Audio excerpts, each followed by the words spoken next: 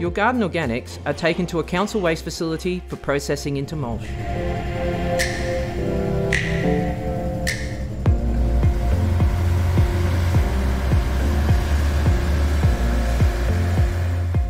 The mulch is placed in windrows to age.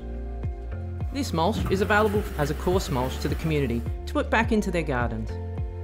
Visit Council's website to check availability at various waste facilities. I like to age my mulch a little bit more just before I put it on the garden.